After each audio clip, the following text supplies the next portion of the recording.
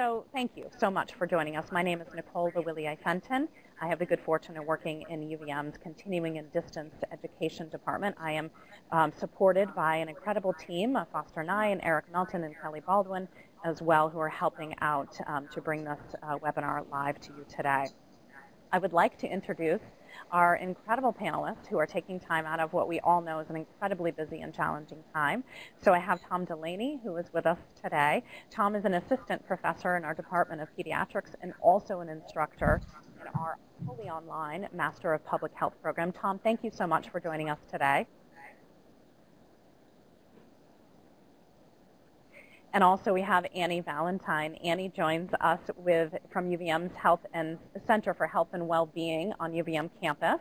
She's incredibly busy at this time trying to support undergrad and graduate students. She's an education and training manager in the Center for Health and Well-Being. Annie, thank you so much for being with us. And also joining us today is Dr. Andy Rosenfeld, a child psychiatrist at the Vermont Center for Children and Youth and Families, and also an assistant professor. Dr. Rosenfeld, thank you for being with us today. Thanks for inviting me, Nicole. And also, Dr. David Tomasi joins us, a clinical psychologist and psychotherapist at the University of Vermont Medical Center a lecture in many different programs here at the University of Vermont, and one in particular that we work on at the Continuing and Distance Education is the Integrated Health Program. So very happy to have you with us as well, Dr. Tomasi.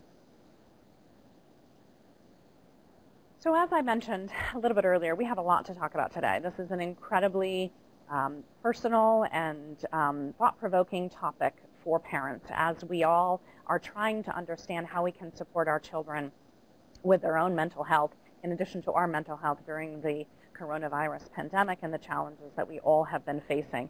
So we're going to hear from um, Tom Delaney about children's mental health pre-COVID-19. What was the landscape of children's mental health before the coronavirus pandemic? And then he'll talk about possible impacts of disease and disaster on mental health and then we'll hear from Dr. Tomasi, looking at the mind-body problem during COVID-19. What is the neuroscience happening in our children, in their brains, and their bodies as well? And then we'll move over into discussion about pandemic parenting. That's really what we're trying to do right now. And Dr. Rosenfeld will walk us through some strategies and coping methods for parents of children and young adults. Um, and also making space for loss and the stages of grief, which we are going through um, and our children are as well. And then how can we make space for some health maintenance also? And then Annie Valentine will walk us through undergrad and graduate student resources and who they are, what are they dealing with, what can we do to help, what do they need as well. And as I mentioned earlier, we have several slides that are um, numerous resources for our parents and for our students um, that many of our panelists have pulled together, and uh, we're happy to share those with you today. Um, and we also have a really interesting and exciting opportunity for folks who are participating in the webinar today is a digital badge. You can earn a digital badge for your participation, and I'll explain a little bit more about that and the opportunity to claim that badge for your participation in this learning experience today. So I'd like to, um, just a housekeeping note as well, I've mentioned, um, but for folks that maybe have just joined us, um, I'm going to keep my eye on that chat box to the best of my ability, and I also have our panelists who are willing to jump in and answer questions. So if you do have questions, please put them in the chat box. I will do my best to keep an eye on them, and if by chance we don't get to your question, we'll put up email address and we'll try to follow up with um, you can follow up with those questions afterwards. So I'd like to toss over to Tom Delaney with our Master of Public Health program. Thank you so much, Tom. Can you walk us through some of the information and, and give us a little background, maybe the landscape of where mental health sat before the coronavirus with our um, young, our children and our young adults? Thank you, Nicole. I'm just going to take a few minutes to go over some recent trends in young people's mental health and you know we could talk for hours about that about what the different trends are. And i'm really going to focus on two of the ones that um, people tend to have more questions about which are depression and suicidality. And suicidality includes suicidal thinking so suicidal acts and less frequently actual suicide. Um, and first um, we're going to go through a couple of graphs. Um, stick with it, even though they're graphs, and um, hopefully you don't have graph PTSD from earlier presentations like this. Um, in terms of background on depression, anxiety, and suicide, um, I just wanted to make sure we're, we're generally having a common understanding. Um, most people with depression and anxiety, even serious uh, depression and anxiety, will not go on to die by suicide. And that's a misconception that some, some people have sometimes. And suicide deaths are actually relatively rare in young people. So in Vermont and in most of the US, um, the age groups that tend to die by suicide more often are actually middle-aged and older, and they tend to be male. Um, however, suicide attempts attempts are high um, in younger people, and suicide-related thinking and um, self-harming, whether it's with suicidal intent or not with suicidal intent, are actually pretty common in young people. Um, and I'll, I'll defer to my clinical colleagues for how best to um, address issues like this as they come up. But I do want to drive home the fact that um, you know any expression of suicidal thinking and self-harming behavior um, should be taken really seriously. Um, it seems really important. The data that I'm going to show you are really from two sources here in Vermont and nationally. The first is a youth risk behavior survey, which is done every other year, and most Vermont middle schools and high schools participate in that. Uh, and then for a little bit older um, young people, so ages 18 to 24, we use data from the Behavioral Risk Factor Surveillance System, or, or BRFSS. These are both self-report, um, but over time we found them to be pretty reliable um, and really our best available way of gauging trends in mental health. We can go to the next slide. Okay, so this is the first of two graphs. This is from the Youth Risk Behavior Survey. And if you look at the yellow line at the bottom, um, these are all percentages. They're percent of all people, um, high school age young people who completed the YRBS survey over four administrations of the survey going back to 2013. So if you look at the yellow line, um, that's probably our most concerning line, and that's at young people who actually report having made a suicide attempt in the past 12 months. And you can see that number is um, relatively low. I mean, in one sense, it's really high but compared to the other um, lines, it's relatively low. There is a bit of a concerning uptick from 2017 to 2019, where the number of young people who self-report a suicide attempt seems to have increased. The line above that is um, young people who made a suicide plan, which also shows a slight increase in the past two years. The line above that, the red line, is purposely hurt self without wanting to die, so that's non-suicidal self-injury. That also shows an increase from 2017 to 2019. And our largest increase is the top line, the blue line, which is young people who report feeling sad or hopeless for two or, two or more weeks in the past 12 months. And that's, um, that's a marker and a symptom for major depressive disorder. So these are, these are all concerning um, trends. This slide, we don't have the, um, the suicidal intention trend data from the BRFSS, but this is depression trend data from the BRFSS from 2013 through 2018. And the, um, the top blue line is 18 to 24 year olds in Vermont. So if you look at 2017 and 2018, there's about 30% of the young, young adult age, 18 to 24, um, met criteria for major depressive disorder. Um, and then the red line under that is the remainder of Vermont adults, so 25 and older. And then below that is the US rates.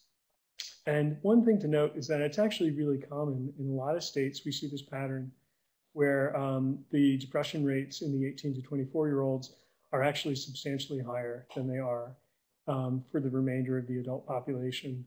Um, and again, we have this disturbing trend though, right? So starting in about 2016, we see that the young adults are showing higher rates of depression um, relative to the other age ranges and relative to the US. We can go ahead to the next slide.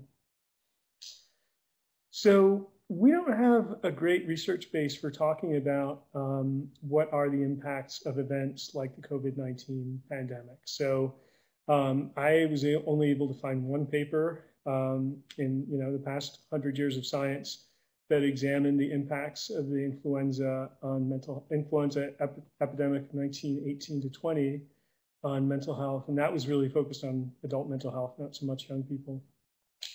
Um, but there is literature that's coming from events like um, recover from hurricanes. There's literature from the 20, uh, 2009, 2010 economic downturn, um, various other types of disasters. And um, what you see is that there are, there are um, immediate impacts, and then there are longer and medium and longer term impacts that are seen in terms of populations' mental health. And a really interesting um, and concerning thing is that there can often be a lag time. So um, something that's been in the media the last couple of weeks is that there can be a rally around the flag effect, where initially um, in the immediate weeks following um, the start of a disaster, or in our case, a pandemic, um, people might really pull together and be very supportive of each other, and, and there might actually be some protective um, factors associated with that. However, what you see is over time, there might be sort of a rebound effect where people um, actually are, are um, showing more symptoms than they may have prior to the event.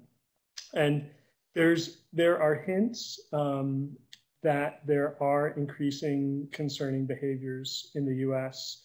in recent weeks. So um, a report just came out showing that calls to crisis lines for like suicide, domestic violence, things like that have increased in recent weeks. Um, and there are there's other anecdotal evidence for increases in domestic violence. There, I just saw this morning, I saw a report, um, a survey showing that there appears to be greater alcohol consumption in recent weeks. And there's an older literature showing that in the wake of disasters like 9-11, um, a lot of people do turn to alcohol use, including excessive alcohol use as a coping mechanism. Um, and then, um, interestingly, um, highly increased firearm sales in the US. And that's of concern to us who are engaged with suicide prevention because we know that having a firearm in the home is actually um, significantly increases your risk of someone in your, your family or in your home dying of suicide. And we can go to the next slide. So what are we thinking in terms of things to look out for and, and the, the negative impacts? Well, we believe that there's general increases in social isolation and loneliness. Um, and we're also concerned that people may not be able to access their normal supports. And that could be as simple as, you know, going for a walk with friends. Maybe you're not doing that anymore. Maybe it's not living with all the people that you used to live with because they are, they're now living with someone else. It could be um, parents uh, split parenting situations where a child is not seeing the other parent regularly anymore. Um, people not having access, um, live access to their faith supports, um, AA meetings, NA meetings, and a lot of these things have gone virtual, but people may not be able to access them the same way. Um, and then a huge thing I think that we've seen in the media um, is separation from other people who are hospitalized, even to the point when they're dying. So not being not being able to say goodbye in ways that we typically would would want to be able to say goodbye, um, and just loss of normal routines and normal rituals, and then um, we saw this, uh, especially going back in the past two weeks, uh, three weeks, we saw that um, people are beginning to lose their jobs in larger numbers. And the literature supports that um, families and individuals, including young people, um, can be really impacted by financial stresses, such as mass loss of jobs. So the last thing I just want to point out before we transition is that um, we should really be thinking too about people who have existing vulnerabilities. So young people who may already be struggling with depression, anxiety, young people who have a history of self-harming or suicidality. Um, it's really important probably to be checking in with them and helping them connect to services. And yeah, I just wanted to end with that, that plug. Great. Thank you so much, Tom, for sharing that background and a look at where um, there are challenges for our young people as well. And we're going to hear a lot more about solutions and, and possible resources um, and tips to help because I know as a parent, um, we're always looking for something that we can do to hopefully help with that situation with our children. So I'd like to toss over to Dr. David Tomasi to walk us through um, what's happening in the bodies of our adolescents um, that may also be contributing to some of these um, stresses and anxieties that our children may be feeling as well. Dr. Tomasi?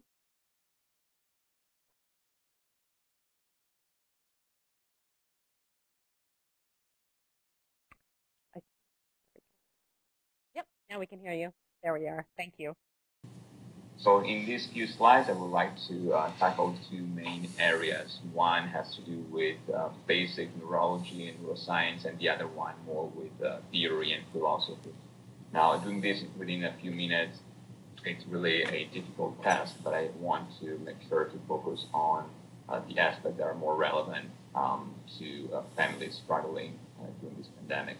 Um, and in this context, I also want to um, spend just a few seconds expressing uh, the level of gratitude that I have for um, all the families, and um, I'm a father myself, and so I would not even be able to be here were it not for uh, my wife, uh, who is actually taking care of the children. So one of the things just to to start in general is to um, for all of us um, dealing with the situation, uh, finding a place in which we can express gratitude uh, to our loved ones uh, because we are all in this together. That said, I would like to uh, move on to the first slide. Thank you. Um, the first thing I would like to mention is um, attempting to normalize the process we are uh, faced with. Um, um as a parent, we want to make sure uh, to do our best for our children, and we want to make sure to provide appropriate support in a time in which we are faced with things that we might not fully understand ourselves, not so much from the biological standpoint, but in terms of our emotional response to stress and anxiety. And so I would like to uh, very briefly uh, discuss what the most important things are in a child and adolescent's brain in this context. And I'd like to focus on five main areas that are listed in this slide. So the hippocampus, the amygdala, the AIC, and the ACC, um, as well as prefrontal cortex. Um, without um, spending too much time on each of these area, um, perhaps uh, we could um, discuss what are the most relevant situations that we can target from the perspective of psychology. Now, this in this slide, you can see some basic psychological interventions that we use with both um, uh, children, adolescent population, and adult population. Um, I only listed five: um, cognitive behavioral therapy, dialectical behavioral therapy, psychodynamic therapy, humanism, employed psychology, and then I would almost say everything else, including spirituality, religion, and tradition. Now, um, if you don't mind, yes, I'd like to focus on um, the slide on the neurofunctional discussion. So one of the things to keep in mind is that we are faced with a twilight zone uh, in the context of adolescent behavior. Um, we are faced with a lot of change that occur at a very uh, rapid pace, and some theorists believe that adolescence is really the last stage in the childhood development. Some believe that it's the very first stage of pre-adult situation. One of the things to keep in mind as a parent is that we should do our best to uh, match our expectations, both from a cognitive standpoint and an emotional standpoint, to the level of skills that adolescents can achieve. So, for instance, um, what would be the best strategy not to lose our patience when we are faced with difficulty? Well, one of the things is to understand that the level of interpretation that the silent brain has might not fully match an adult one's.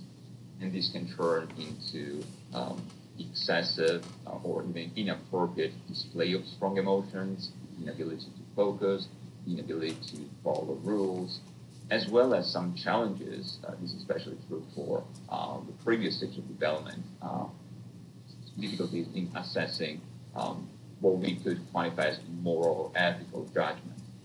Classical example in previous stage of development, we cannot really um, make the claim that a child who is four years old, for instance, is purposely lying to us in the sense that the cognitive capacity a distinction between a false statement and a lie is not fully there quite yet. Now, granted, when we are faced with um, a lot of stress, it is hard to remind ourselves that our emotions should match the context and we always start from a place of um, nurturing sense of self. But it's very good to understand that certain things are neurologically limited in the context of the adolescent's brain. So to start with this uh, brief overview, um, what, what can we do to at least understand what's going on in adolescent brain so that we'll be better equipped to uh, match uh, our response?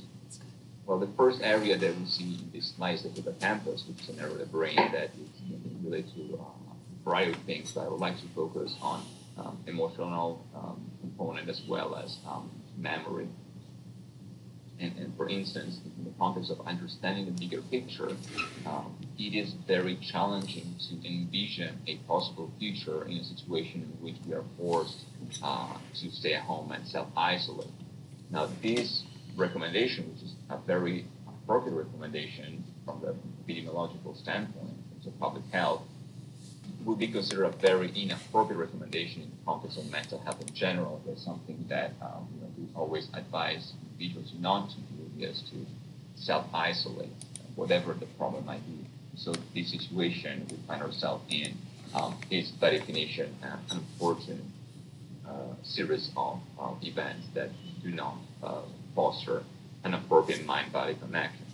So um, beside the, the hippocampus and the, the role hippocampus plays in memory production and retrieval, the other areas are pretty much related to uh, the fight and flight response, stress response, talking about the amygdala especially, um, um, areas that have to do with both cognition and emotion, and that is true especially for the uh, anterior cingulate cortex, um, as well as for the anterior insular cortex.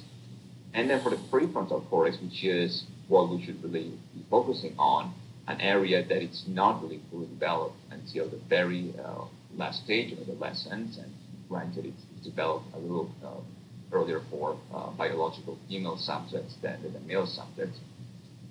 Now that, that part of the brain is responsible for a cascade of, of, of responses, especially cognitive and even more ethical judgment ability to uh, understand a situation and act appropriately.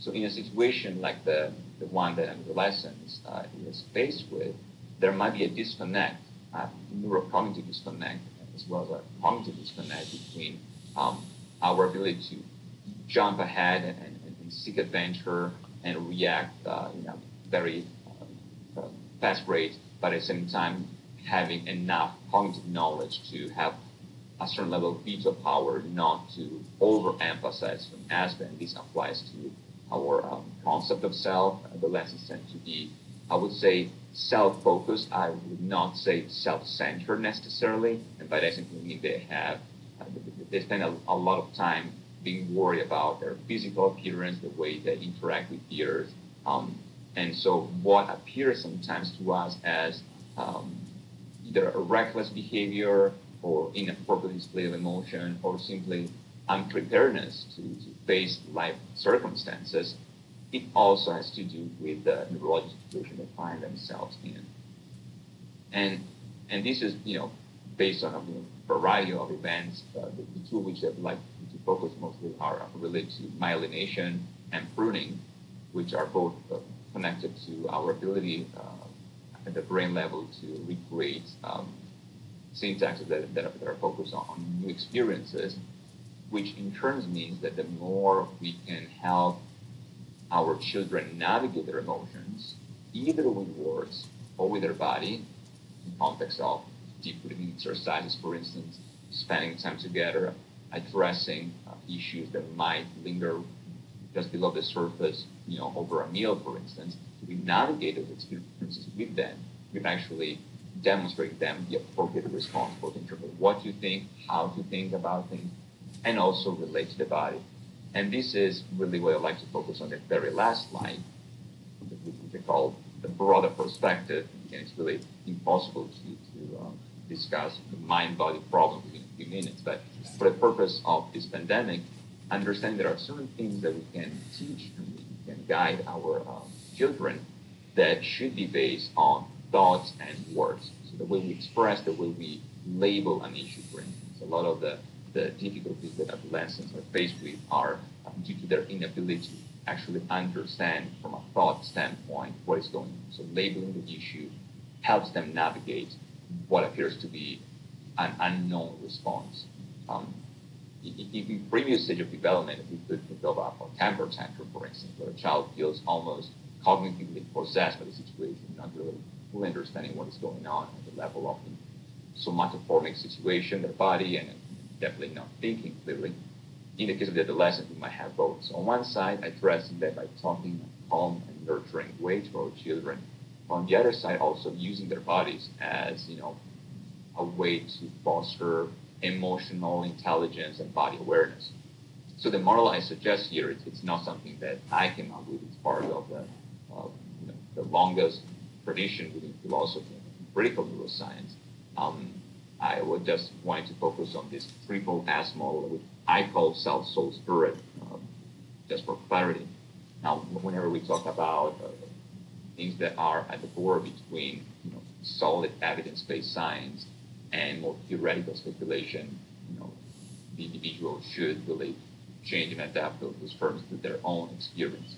But one of the things that uh, I notice, at least in my conversations with my patients, is a sense of unexpected, gloomy, dark future that we're faced with.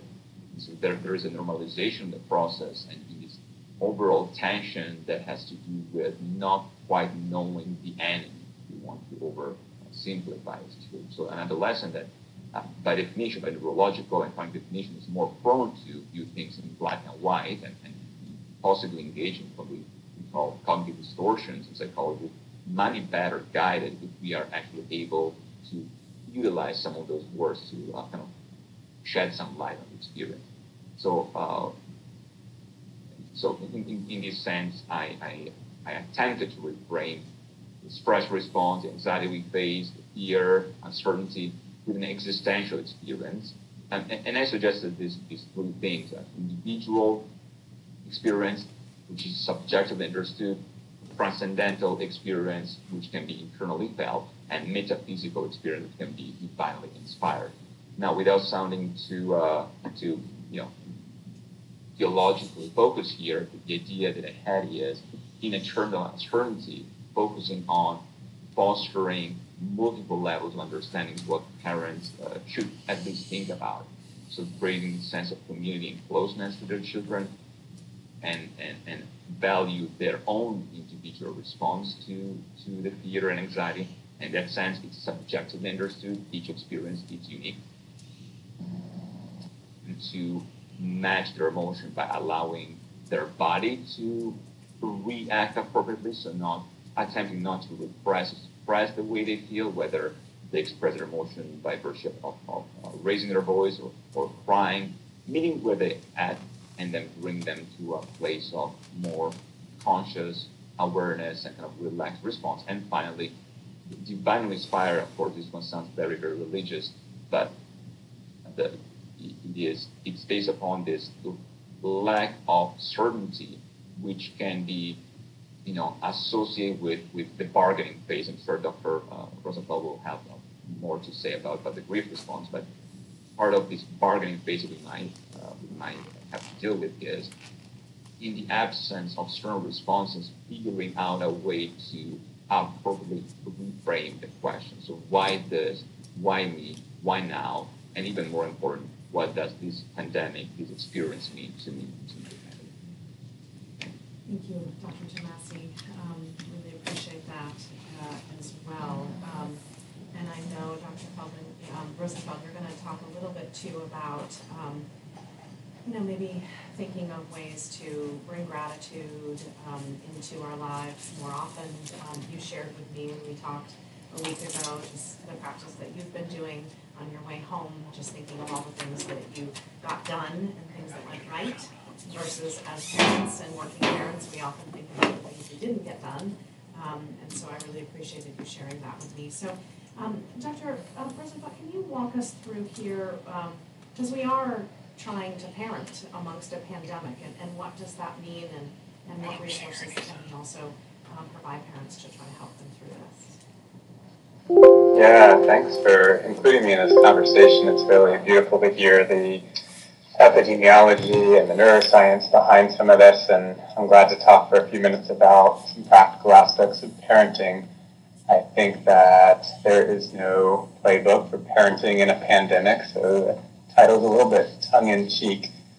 Um, and I think that most of uh, what we know has to be adapted for the current situation. So I wanted to start with a familiar adage of putting your oxygen mask on first before you can help the people around you. And what are the ways that we can do that now? I think it's really called for because when you and I were talking about this presentation, Nicole, we were just kind of marveling at the way all of our lives have been disrupted at every level and every facet and everything that's sort of held together our families, our jobs, our knowledge of the world, everything that scaffolded that has kind of been ripped out from underneath us in many instances in a way that's really unsettling. And how to cope with that while we're being asked to continue working or looking for work, supporting our families, schooling our kids, managing our households, and all the other things is, is kind of just overwhelming. And I think that the first point I put under the oxygen mask is awareness, acknowledging that sense of overwhelm, the roller coaster of emotions that go with that in ourselves is probably the first step to then being able to figure out how we can show up for our kids or our families or our kids who are looking up to us or looking to us for support. And on that note, I also wanted to invite everybody, everybody is breathing now, hopefully.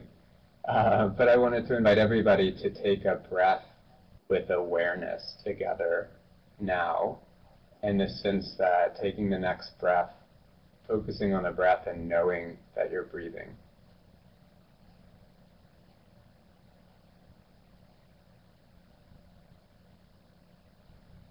And noticing the difference between the breathing that we do every day, every hour, sleeping, waking, parenting, not parenting, yelling, calm, and what it might feel like to take a breath with awareness.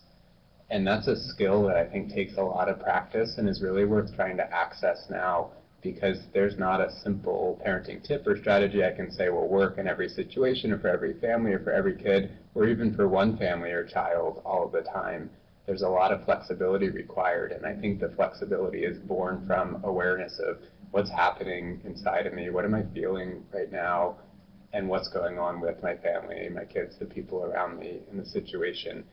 And we don't often make space for that. So actually taking time, even if it's one breath or one minute or one walk or one nap, whatever the space is that one can make to build that awareness it's going to model and it's also going to feed back becoming aware of what your child's experience is or your children. And that I think is probably the key to a lot of pandemic parenting is tuning in to what's going on with your children. So getting myself in a place where I am open to listening and being an active participant in their experience will allow me to see what might be needed in that moment, whether it's a peanut butter and jelly sandwich or a walk outside or some extra screen time with their friends whatever it might be. And the second underlying principle I uh, would highlight is the individuality of it all. Um, I think Tom and um, David, to some extent, both highlighted developmental changes in the sequence and how this isn't going to be the same for a three-year-old or a 13-year-old or 23-year-old. And within that span, every 13-year-old is not like every other 13-year-old. So remembering that you're an expert on your kids and your family, and taking the millions of websites and recommendations that are being floated around and picking the ones that are useful to you reminds me of uh, with my wife and I raising our own kids, and there's so many parenting manuals and guides, and we decided we're just going to pick one. It may not be the best one, but there's a good enough one for us, and we're going to stick with that so that we feel some comfort and this is our path, and, and we're going to stick with something that's familiar, some guidance. So uh, figuring out what works for your individual family without being overwhelmed always of am I doing the perfect thing all the time? Good enough is good enough. And the last point I try to underscore is recalling our values, which probably haven't shifted too much because of the pandemic. And values is not just the things that we value, but it's also the situations and the people that help us to feel valued, the interactions where we feel as if we matter and some of those will be with our kids, some of those will be with our friends or with our colleagues.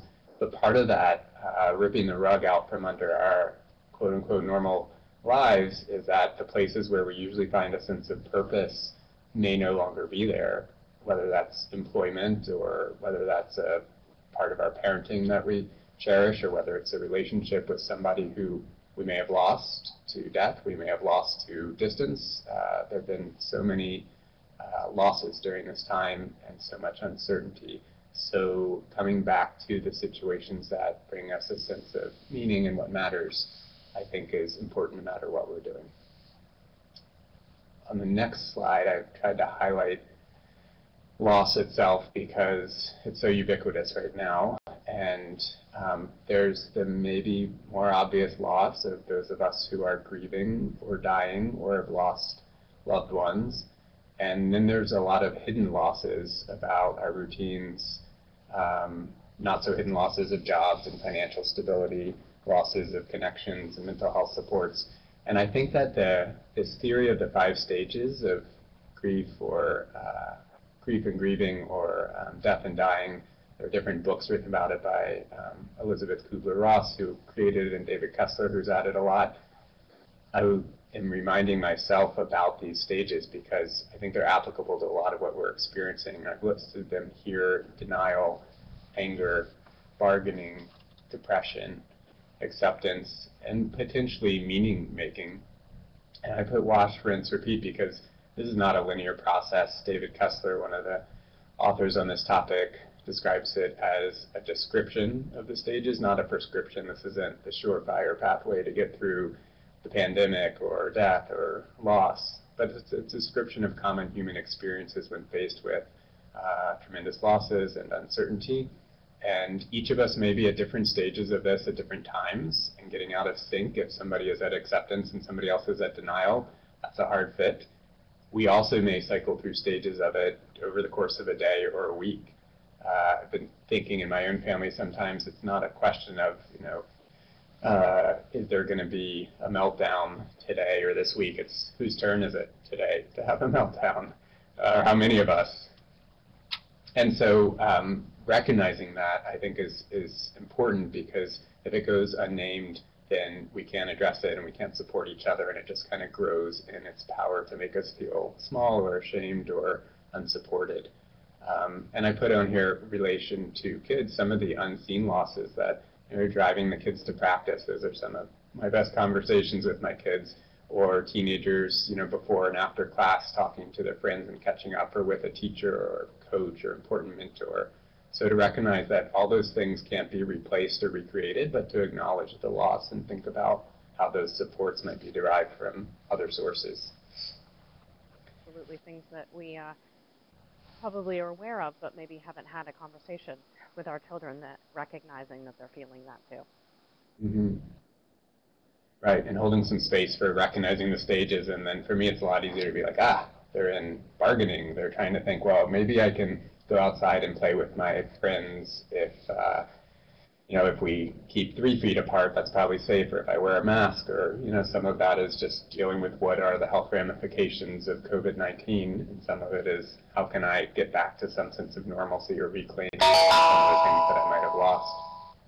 Uh, this uh, next idea about negativity bias is also to recognize that we have this built-in mechanism for seeing the negative for being critical, if not hypercritical, for seeing the flaws. It comes from a good place that this was a survival mechanism. This is how we um, kept the tribe alive, kept ourselves alive by being on alert for dangers, for threats, for negative things in the environment, for things that wouldn't work. So because it's built in, it's helpful to not beat yourself up about having a negativity bias when the world has become appreciably more dangerous. Now we're getting messages from reliable sources that say, try not to go outside, try not to be close to people. Um, and those are those are sometimes unfounded fears, and right now they're more founded than usual. And so, uh, having that negative part of our brains, the worry part, uh, in the parts of the brain that David mentioned in terms of our, our sort of um, reptilian or more ancient brain survival modes, in hyperdrive right now is just a normal response to times with uh, very abnormal circumstances and the emotions listed here, scared, angry, sad, confused, overwhelmed, those are normal responses. So the first thing about what can I do is don't just do something, stand there. Kind of turning the familiar phrase on its head to circle back to awareness and bring our awareness to what is this experience, how is it affecting us? How is it affecting our children, our parenting, and our connection? And that there isn't always something to do. Some of the losses we've had can't be reclaimed or reinvented, and we may have to find new ways to connect or new ways out of this or new ways to tolerate these unusual levels of distress. Next, it requires a lot of flexibility and recognizing that it's not about getting through stage one of denial and then I'm done with it. It's going to cycle back. The emotions are going to be up and down. And that's why awareness is needed almost all the time because there's, there's not one recipe. It's not a linear course. Um, and neither will it be for our kids who are going to shuffle through their understanding based on their developmental stage, their cognitive capacity to make sense of it. So bring some awareness to listening what's going on in ourselves and others. And finally, if all else fails, you can just focus on the negative. So this technique from comes out of Stoic philosophy that I find helpful to share is called negative visualization. And it's essentially a gratitude practice flipped upside down where instead of saying, for what am I grateful, I take a little time to imagine some of the important things as if they were losses. What if I didn't have this uh, forum to speak to my colleagues? What if I didn't have Zoom so I could keep seeing the patients and families that I work with? What if I didn't have my wife at home taking care of the kids so I could be doing this job? What if I didn't have this job? So on and so forth. Not dwelling on the loss itself, but allowing some feeling of appreciation that when I go home and see my wife and kids, thank goodness that they're still there, that I have them. When I have the opportunity to speak with you all and hear and learn with you, that I'm very grateful for that experience. So negative visualization can be a nice counterpart to a gratitude practice of focusing on the positive things. And finally and fundamentally, health promotion or health maintenance, the basics that without these, it's hard for any human to function well, getting a good night's sleep, having a consistent sleep routine, not buying into the myth that we can catch up on sleep, certainly not after a marathon pandemic like this. Is there going to be a chance to catch up on sleep for a few months or a few years? Making sure to fuel the body. I like to think about um, putting into our bodies what we want our bodies to be made out of. And so there's no particular pandemic diet, but just thinking about how what we eat and drink is affecting our well-being and our balance moving just turns out to be important for brain health and balance and social connection. So whatever way that is, that may be gardening, it may be cooking, stirring the pot together, it may be going for a walk, but all of those things count and connecting. Again, circling back to the people where we get a sense of uh, value, of being valued, mattering. They matter to us, we matter to them, the people that believe in us. And then the bonuses here, um, which I would include finding a space for stillness or what some call mindfulness, doesn't have to be a formal meditation practice, uh, but finding some kind of peace of mind, however one does that. Reading is a great sort of retreat um, and practice and coming back to your own classics. What are the books from different stages of your life uh, that have seen you through some ups and downs and introduce you to ideas or characters that are helpful. And then lastly, music. Um, this is kind of movement for the mind, um, whether it's dancing or singing or playing music. Those are all ways that we connect to ourselves and connect to one another and allow us to also be centered in that awareness that I was mentioning uh, from the beginning. So I think uh, finding options amongst these and trying to tend to the basics even in a time of crisis, is quite important for ourselves and helping our kids with these routines. And thank you for giving us that visual representation in the beginning when you were talking about um, the oxygen mask. Because if we as parents can't find at least an opportunity to do some of these things that you list here, then we're going to be in more jeopardy to be able to support our children as well. Speaking of children, um, we, we've been talking about um, kind of a wide range of ages of our children. There's no doubt that we need to um, be considering what's happening with our undergrad population and our graduate students here at UVM um, as they are scattered um, all over the United States, back at their homes as well. So Annie Valentine joins us as well, just to give us a, glimpse of to the kinds of conversations that you're having with our undergrads and graduate students um, and the particular challenges that they're facing and some uh, opportunities to support them as well. Annie? Um, thank you. Uh, I, hope I'm uh, loud enough and I'll do my best to, to be clear and succinct and just want to thank the presenters uh, that came before me in capturing um, some of the things that I am gathering from our students um, in these past few weeks, not trying to make assumptions as an educator around what our students need, but really listening to them and uh, getting a, a, better understanding of what they are experiencing. Um, but I wanted to go over just a few of the vulnerable audiences that we um, uh, know are experiencing this pandemic um, in some in some different ways and that we're paying attention to.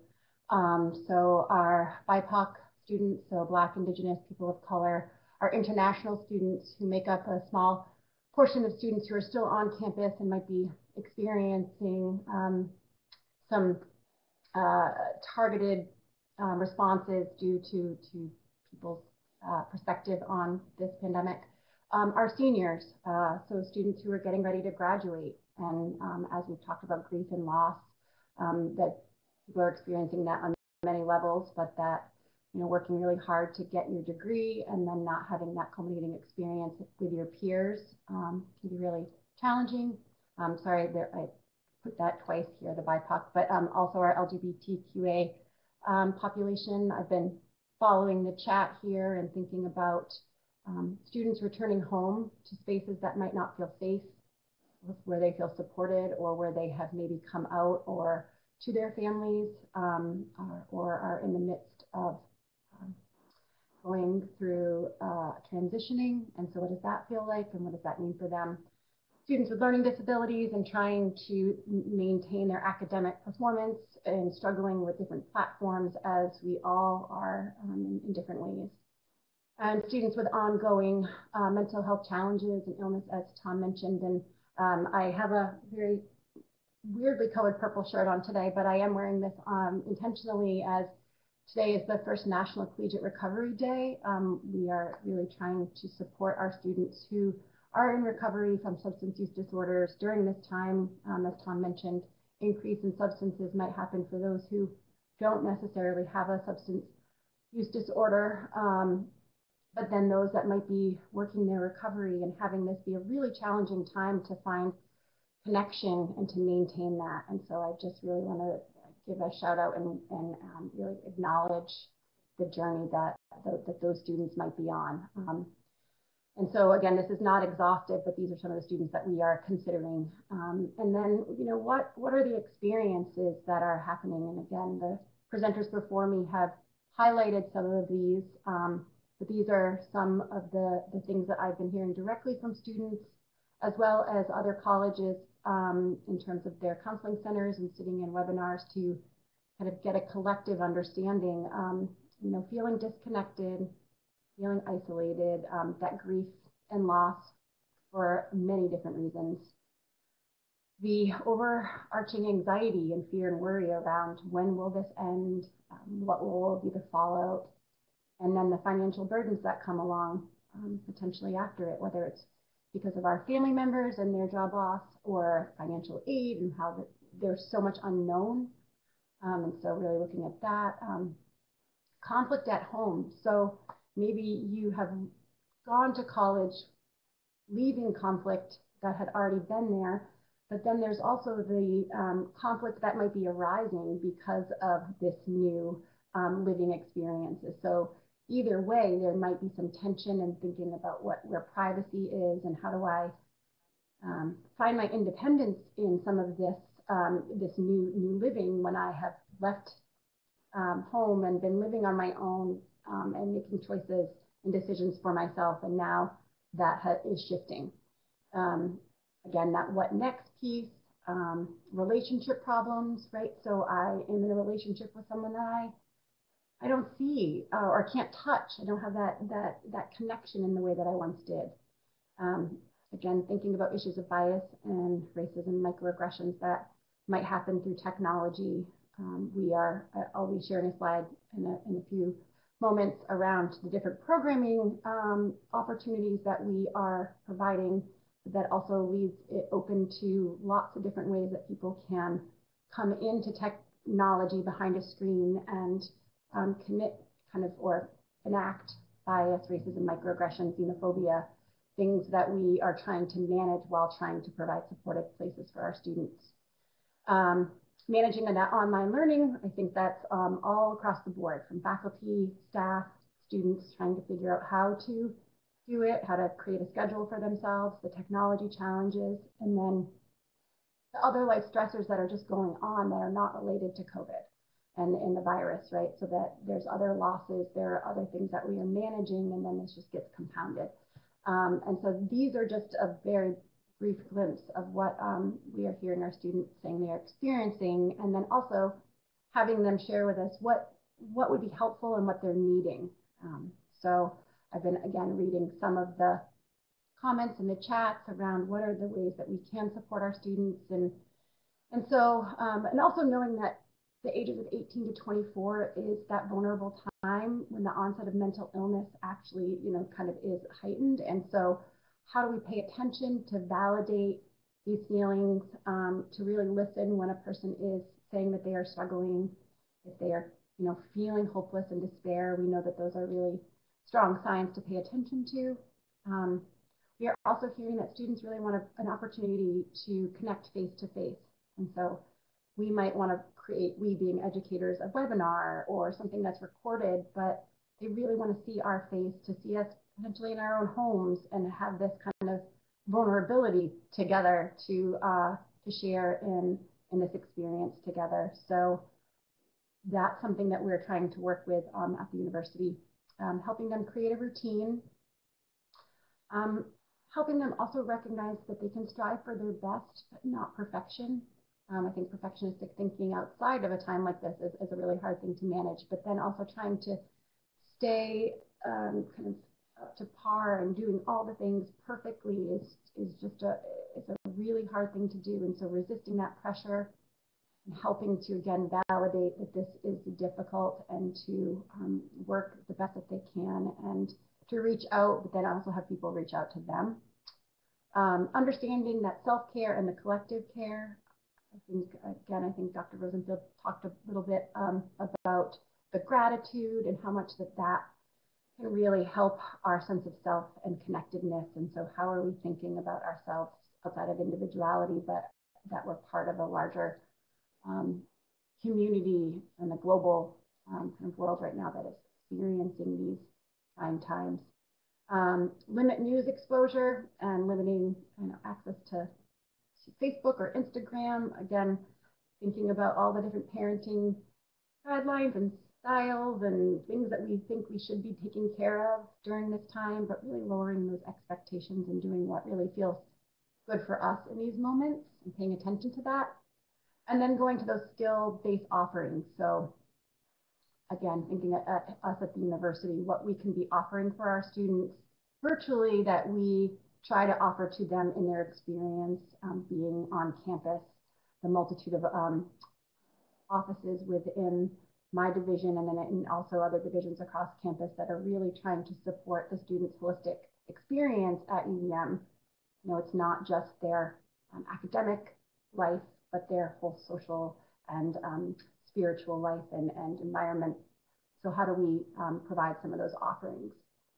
This was a brief uh, survey that we got off of My Wellbeing. Um, someone shared it with me, and I thought it was just, um, it gave a glimpse again of what students are saying that they are needing and wanting. And it looks like that FaceTime and video chat piece is really important. So seeing people's faces, seeing expressions, seeing maybe a tear in someone's eyes or seeing someone feel some emotion um, is, is a really important piece of connectedness during this time. And then um, these are just some resources that we, uh, the, you'll see on the, I guess, left or right hand side, whichever way you're looking, some of the UVM resources that we have. So our Center for Health and Wellbeing um, is our um, main area where we provide counseling and psychiatry services, our student health services, um, the office that I'm a part of, which is Living Well Education and Outreach, and then athletic medicine is another um, arm of that. But really trying to make sure that we are providing telehealth to our students through um, face-to-face uh, opportunities, um, having mental health resources available, um, and then doing some of those virtual programming um, opportunities, trying to set up some uh, spaces where students can talk about um, the issues that have been brought up throughout this webinar. Whoops. Thank you, Annie. Um, I wanted to also just, uh, I know um, Dr. Rosenfeld, Annie, you need to get going soon. Um, and so I just wanted to give an opportunity. Some of these resources also listed, like the Family Dinner Project and Common Sense Media and Smiling Mind, um, were ones that you shared with us as well. Do you want to just touch um, on these quickly before I know that you have to um, have to exit? Sure. I would just add that um, uh, starting at the top, the NCTSN is the National Center for Trauma and Stress. It's a network of um, people who are experts in this area, put together a lot of resources, and this one is that link here is relatively comprehensive, and I know there are some questions on the chat about managing uh, kids who are having difficulty or parents who are having difficulty even before the uh, pandemic crisis and how to address that. So I think that tip sheet is helpful in thinking about that globally. The Family Dinner Project is capturing the idea. In some sense, I think what David's getting at in the chat box of while there is a possibility for some traumatic stress related to this, there's also equally a possibility for traumatic growth. That for many of us, the most meaningful experiences of our lives are also some of the most difficult, and they turn us around corners and see we're coming so the Family Dinner Project is an idea for using this forced family time to find some joyful family moments to connect over eating and cooking, shopping to the extent that we can do that, um, and time together, conversation. I think a lot of parents have struggled with screen time. You saw from Annie's data that that's that's how kids are connecting. So where do we set? You know, all the old limits are kind of out the window, and Common Sense Media has a ton of useful stuff on education, homeschooling, and screen time. I think this link is to a particular article addressing um, the difference between quantity of screen time and quality of screen time, and the science that's pointing toward it matters what you're watching and how you're watching and with whom you're watching, not just how much. Smiling Mind is, um, I think, my favorite mindfulness app because it's free. There's you, there's not even an option to subscribe, so it comes out of Australia, and it's developmentally sensitive in that there are um, meditations for different age groups as well as different settings. So if you're three years old or you're an adult, you can find something there for you. So you can download that if you're looking to use to find some stillness. Uh, and the other ones I don't think are links that I suggested, but also have a lot of great resources, um, some geared toward specific populations and some applicable to everyone. And Dr. Rosenfeld, before you go, I just wanted to recognize something you did mention um, is the varying age groups in your household and the different challenges that that may present from a mental health and wellness perspective. And I know Dr. Massey was guiding us through the neuroscience and behind what is happening in the brain development of our children. Um, I know you, Dr. Uh, Rosenfeld, have um, varying ages of your children. What's um, some advice that you might give um, for parents that are trying to navigate, um, you know, uh, preschoolers all the way to middle school to undergrad populations? How do you, how can you best approach that as a parent to help them through this? Mm-hmm, that's a big question. I think so. Being developmentally sensitive means paying attention to um, where your child's mind and body are in the same way that you wouldn't um, teach a six-month-old to ride a bicycle. You also have to be aware of things like David was mentioning before, the cognitive level of difficulty, the social skills, and at the youngest end of the spectrum for infants and toddlers, you may not need to change too much. They're pretty resilient and adaptable and pretty egocentric in the sense that the natural state of the mind at that age is to kind of see the world as revolving around me that's that's how it goes. Um, so they'll notice changes in routine and they'll benefit from routine, but they don't require a lot of explanation of why you can't go to the playground anymore. They may require still some attention, some fun activities. Um, whereas as kids get older and their minds tend to develop the capacity to think more abstractly and to reason through things, they're going to be overhearing what parents and caregivers are talking about, what's there on the news, and so there's some more caution in monitoring their exposure to those things and even to what older siblings are saying, and also some more space for noticing what their questions are. School age kids might get into fears of you know, what happens if I get sick, and what can I do concretely to help with this, and what happens if mom and dad get sick, or grandma and grandpa, or um, will I ever see my teachers again? So those would be typical kinds of fears at the uh, sort of monsters under the bed stage of younger kids. As kids get older, more toward like the tween and middle school years, they start to develop more abstract thinking about what this means for the world, about what this means for climate change, about what this means for their future going into high school or going into college. And so there's an opportunity for maybe more anxiety there, but also more problem solving. And it's a really spirited time of life. So that's doubly hard when you're trapped in the house. But kids are finding new ways to connect on, as Annie mentioned, through social media and other fora. Um, and those that's that's a time when kids are meant to be out exploring and taking risks. So being confined at a home is hard. Looking for new ways to help kids uh, explore and take risks to some extent is, I think, a challenge for all of us for the for the older side of the population, and it just all requires a lot of flexibility. Absolutely, flexibility and a lot of patience, and recognizing as a parent that you can take a break as well. Sometimes um, I have found in my house that um, it's it, I've been trying to take walks by myself that need that space, sometimes need that time to be able to recharge. As you mentioned at the beginning, we need the oxygen mask for ourselves as well as parents.